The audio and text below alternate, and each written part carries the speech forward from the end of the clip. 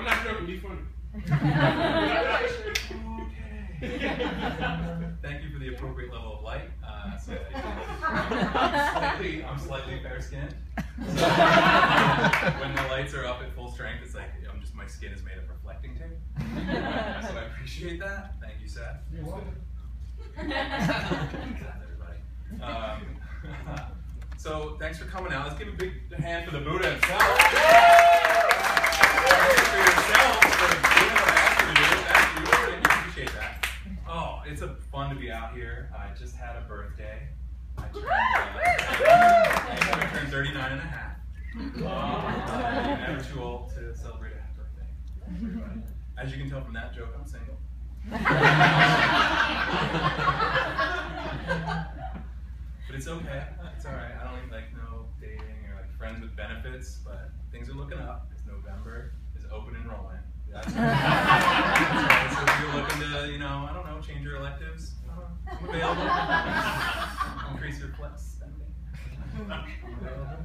Uh, oh, before I go too far, I have to, I have to bring out.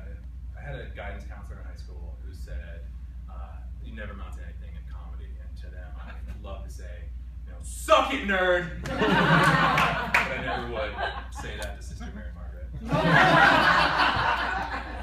Meaning, God forbid. Uh, but it's true. It's true. I did go to I did go to a little Catholic school. It wasn't like too you know it wasn't a fancy private school. Uh, it was just like the place where the Italian kids fought the Irish kids over who got to make fun of the Latino kids. That's pretty much it's, it's crazy. Uh, uh, uh, but she was she was my, my guidance counselor, which had to be a real catch twenty two when you're at a, at a small school because the options there are you have this eight year old woman who's devoted her life to uh, like poverty, essentially showing you your dreams. Or plan B, like the assistant wrestling coach who's going to sub in and be the guidance counselor automatically regretting his life choices like every day. Uh, so thank God they went with uh, woman of God. That could have got weird. That could have got weird. The other guy was a little handsy. I want to grapple New Island. Uh, we got into it a little bit because mostly because I was a jerk uh, growing up. Uh, so we would go around the room and she would say, "What do you want to be when you grow up, or what do you want to do for a career?" And I, of course, couldn't answer earnestly because God forbid. I said, "Ditch digger," and uh, to which her response was. Well, the world needs ditch diggers. no, they don't. No, it doesn't. It doesn't. We, we were in a town that had a caterpillar factory. They literally picked things that made ditch diggers obsolete. In our hometown, it wasn't until later uh, that I was old enough to watch the movie Caddyshack and realize that she had zinged me. That line is in Caddyshack. She had zinged me. Plus for you, sister. she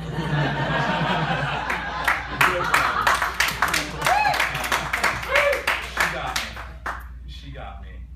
Uh, what else is going on? You know, I always wonder, sometimes I wonder, of course, I mean, she's no longer with us, so I wonder, you know, when she got to heaven, did she have to use the servant's entrance? Oh, literally talking shit to a nun a second ago. None of you care. Oh, that's not right. Was she in the St. Peter line? They're like, excuse me, man, you're around back. Just ask for Jesus.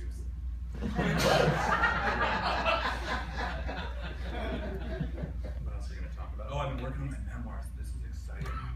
On my memoirs. Uh, currently titled uh, French Fries and Pizza uh, The War Against Myself. That's all I have so far. Maybe a chapter title of oh, my personal style is called Unflattering. Uh, that's, that's really all I have for you tonight. I'm here uh, to make you guys laugh a little bit to get you ready for the fantastic show that we have coming on. So if you could help me welcome Baltimore's on remote possibilities, if we could get uh, slow clap, slow clap. I didn't say it faster.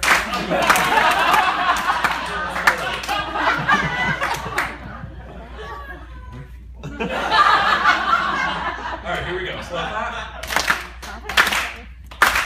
Now you're fighting.